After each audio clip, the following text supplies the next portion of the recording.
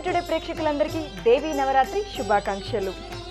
తెలుగు రాష్ట్రాలతో పాటు వివిధ ప్రాంతాలలో దుర్గాదేవి నవరాత్రుల విశిష్టతలు ఎన్నో విధాలుగా చాటి చెబుతారు. కలకత్తాలో కాళీమాతగా మైసూరులో మహిషాసుర మర్దినిగా విజయవాడలో కనకదుర్గగా శ్రీశైలంలో భ్రమరాంబగా ఇలా ఒక్కొక్క ప్రాంతంలో ఒక్కొక్క విధంగా సంభాషించడం మనం చూస్తూనే ఉంటాము. ప్రకృతి స్వరూపాలైన భూమి వాయువు నీరు నిప్పు ఆకాశం ఈ ఐదు ప్రతి జీవికి ఏ విధంగా ప్రాణవాయుతో సమానమో అదే విధంగా ప్రకృతి సమానురాలు అయిన దుర్గాదేవి అమ్మవారిని ప్రత్యేకించి ఆశ్వేజ శుద్ధ పాడ్యమి నుండి ఆశ్వేజ శుద్ధ నవమి వరకు జరుపుకుంటారు. ఈ సమయంలో అమ్మవారు మహిషాసురుడు అనే రాక్షసుడితో తొమ్మిది రోజుల పాటు యుద్ధం చేసి సంహరించిన కారణంగా తొమ్మిది రోజుల పాటు తొమ్మిది రూపాయలలో మనం అమ్మవారిని అంటే దుర్గాదేవిని ప్రార్థించడం జరుగుతుంది. తొమ్మిది రోజుల పాటు ఉత్సవాలు జరిగిన తర్వాత పదవ రోజున దసరా వేడుకలు జరుపుకుంటాము. మొదటి రోజు శ్రీ స్వర్ణ కవచాంకృత దుర్గాదేవిగా రెండవ రోజు శ్రీ బాలత్రిపుర సుందరి దేవిగా మూడవ రోజు శ్రీ గాయత్రీ దేవిగా నాలుగవ రోజు శ్రీ అన్నపూర్ణాదేవిగా ఐదవ రోజు శ్రీ రాజరాజేశ్వరి దేవిగా ఆరవ రోజు శ్రీ లలితా త్రిపుర సుందరి దేవిగా ఏడవ రోజు శ్రీ మహాలక్ష్మి దేవిగా ఎనిమిదవ రోజు శ్రీ సరస్వతీ దేవిగా తొమ్మిదవ రోజు శ్రీ దుర్గాదేవిగా పదవ రోజు శ్రీ మహిషాసురమర్దిని దేవిగా కొలవడం జరుగుతుంది. నవరాత్రుల సందర్భంగా ఈ నాలుగు దుర్గాదేవి మంత్రాల యొక్క ప్రత్యేకతల గురించి తెలుసుకుందాం. దుర్గాదేవి శక్తి స్వరూపంగా మన అందరి చేత కొలవబడుతుంది. అంతేకాదు శక్తి స్వరూపిణి అన్న నామంతో కూడా పిలువబడుతుంది. విశ్వంలోని సకల చరాచర జీవకోటికి తల్లిగా ప్రతి ఒక్క ప్రాణిని ఆదరించి కాపాడే కల్పతరువుగా కీర్తించబడుతుంది. దుర్గాదేవి అజ్ఞానాన్ని తొలగించి ఆలోచన స్థాయిలను పెంచగలిగే శక్తిని కలిగి ఉంటుందని చెప్పబడింది. వస్తుపరమైన ప్రేమను కలిగి ఉన్న ప్రపంచాన్ని అజ్ఞానాంధకారాల నుండి బయటవేసి మానసిక చైతన్యాన్ని పెంపొందించడంలో దుర్గాదేవి కీలక పాత్ర పోషిస్తుందని నమ్మబడింది. మనసు పొరల్లో నుంచి చీకటిని తొలగించి సరి అయిన నిర్ణయాలను తీసుకోవడంలో మార్గం సుమగమం చేస్తుందని చెప్పబడింది. క్రమంగా జ్ఞాన సరస్వతి రూపంలో కూడా దుర్గాదేవిని పూజించడం జరుగుతుంది. అదేవిధంగా భయం అసూయ దేశం మరియు ఇతర దృష్టి శక్తులకు ప్రతికూల ప్రభావాల నుండి తన భక్తులను రక్షిస్తుందన్న దుర్గాదేవి మహాకాళిగా కూడా పిలువబడుతుంది. అలాగే దుర్గాదేవి ప్రశాంతతకు మారుపేరు తన భక్తులను ప్రేమగా చూసుకుంటూ వారి జీవితంలో ఒడిదుడుకులకు తావు లేకుండా ప్రశాంత వాతావరణం నెలకొనేలా ఆశీస్సులను అందిస్తుంది. ఆమెను ఆరాధించే అత్యంత పవిత్రమైన కాలంగా భావించబడుతున్న నవరాత్రి సమయంలో భక్తులు దుర్గాదేవిని ఆరాధించడం ద్వారా ఆమెపై ఉన్న భక్తి ప్రవర్తనను చాటుతుంటారు. పూలు చీర కొబ్బరికాయ మరియు ఇతర వస్తువులను సమర్పించడం ద్వారా ఆమెను పూజించడం జరుగుతుంది.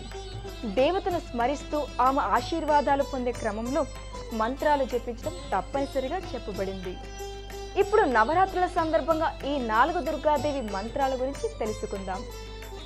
నేను చెప్పే ఈ మంత్రాలను నవరాత్రులు అయ్యే వరకు క్రమం తప్పకుండా ప్రతిరోజు పాటిస్తే అనేక సత్ఫలితాలు అనుకున్న పనులు జరుగుతాయని భక్తుల నమ్మకం.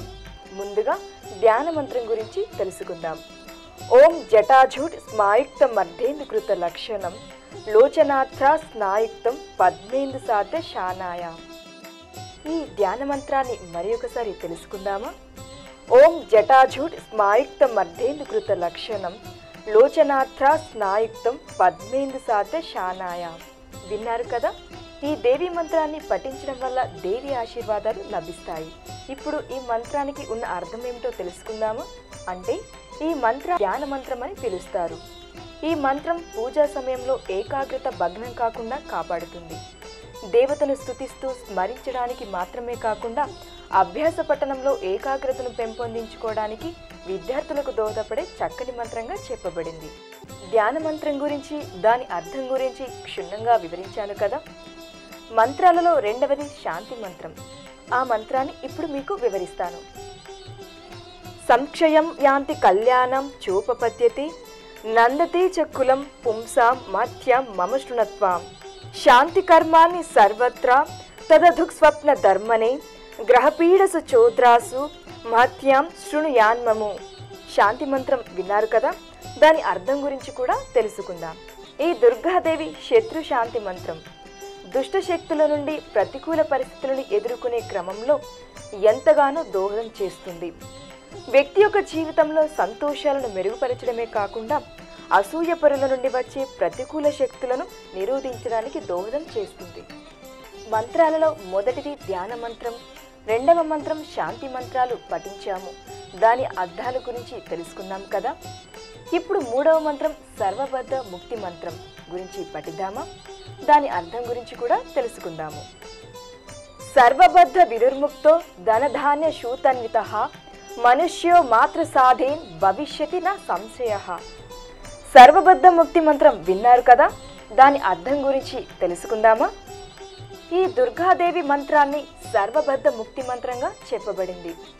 సమస్యల నుండి ప్రజలను విముక్తులను చేయడానికి పిల్లలు లేని వారికి సంతానయుగం కలిగేందుకు ఆరోగ్య ఆర్థిక పరిస్థితులను మెరుగుపడేందుకు వృత్తిపరమైన చికాకులు తొలగేందుకు మాత్రమే కాకుండా కుటుంబంలో శాంతిని నెలకొల్పడంలో కూడా ఈ మంత్రం దోహదపడుతుంది. పైన పేర్కొన్న మూడు మంత్రాలు పఠించాము. వాటి అర్థాలు తెలుసుకున్నాం కదా. ఇప్పుడు దేవి మంత్రాలలో చివరి మంత్రమైన నాలుగవ మంత్రం దుర్గాదుక్ స్వప్న నివారణ మంత్రం గురించి తెలుసుకుందామా? శాంతి కర్మాన్ని సర్వత్రా తదాధు స్వప్న ధర్మిణి గ్రహపీదాసు చౌగ్రసు మహాత్మ్యాన్ స్పృణుయాన్మం దుర్గా దుక్ స్వప్న నివారణ మంత్రం గురించి మరి ఒకసారి తెలుసుకుందామా? అందరూ ఈ దుర్గా దుక్ స్వప్న నివారణ మంత్రాన్ని పఠించి దేవి అనుగ్రహం పొందుదాం.